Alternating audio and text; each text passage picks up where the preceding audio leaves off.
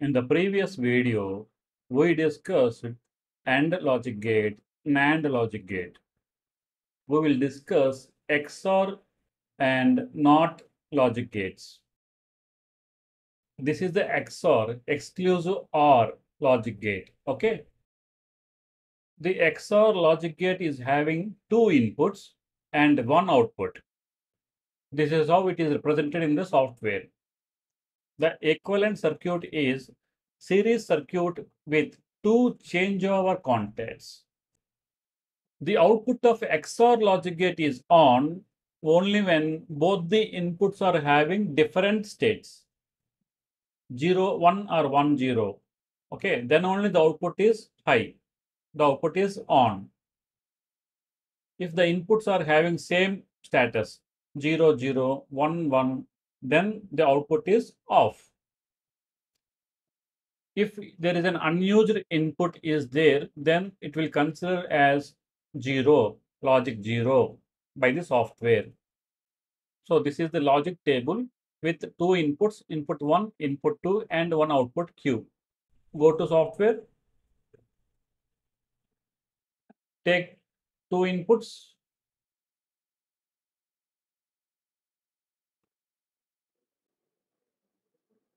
And one output. Go to basic functions, take XOR. Now join them.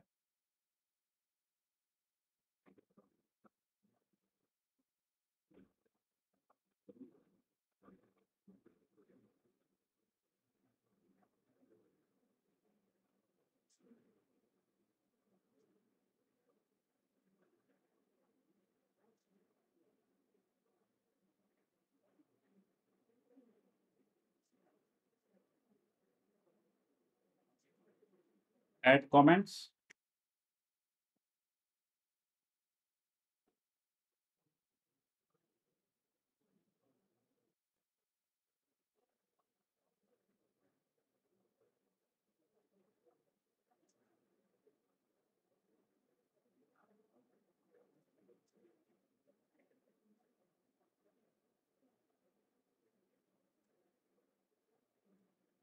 Okay. Open the PLC, give the download. So go to tools, transfer, select PC to logo. Select IP, click OK. The program is downloading.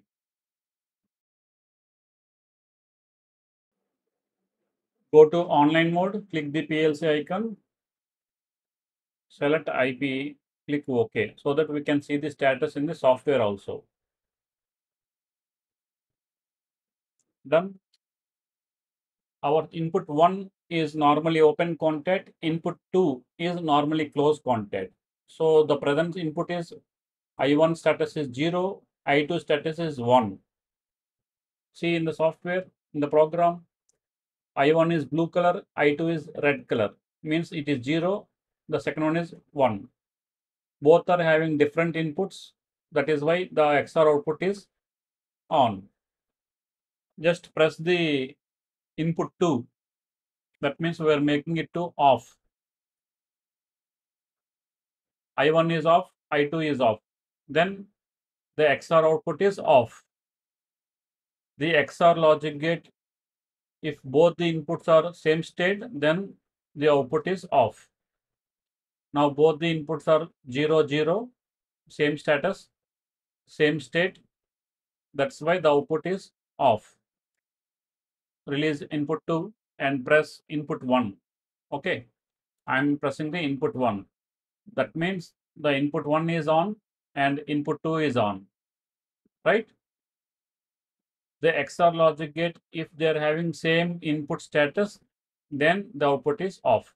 Either the input is on or off. If both the inputs are the same state, then the output is off. If both the inputs having different state, then output is on. So this is the XOR logic gate. Okay. Now we will check the NOT gate. Okay. So click the arrow. take one more input.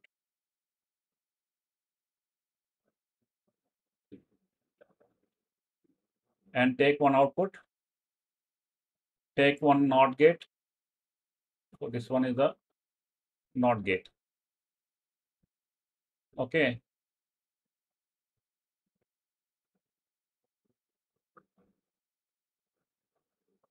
The NOT gate is represented by the block with one and the output one bubble is there, right?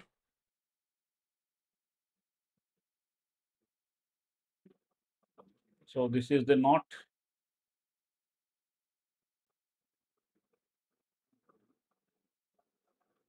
So download it to the PLC. You can directly click on this icon PC2 logo. It will download the program. Click yes.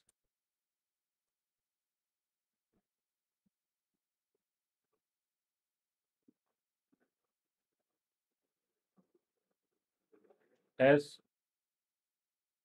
So that's it. What the NOT gate will do, it will inverse the input status. Okay, if the input is 1, the output will be 0. If the input is 0, the output will be 1. Okay, what is the equivalent circuit? If you see, so this is the equivalent circuit. One break contact, okay, one normally closed contact. Okay. So we will test the logic. We are using input 3 and uh, output 2 for the NOT gate, right? Input 3 right now is on. That is why output 2 is off. Make input 3 off. Output 2 is on. It will just inverse. You can also use the online test mode. Click on the PLC. Select the IP. Click OK. Now we are in online. See the input I3 is off. It is in blue color. The output Q2 is on. Okay. Make the input I3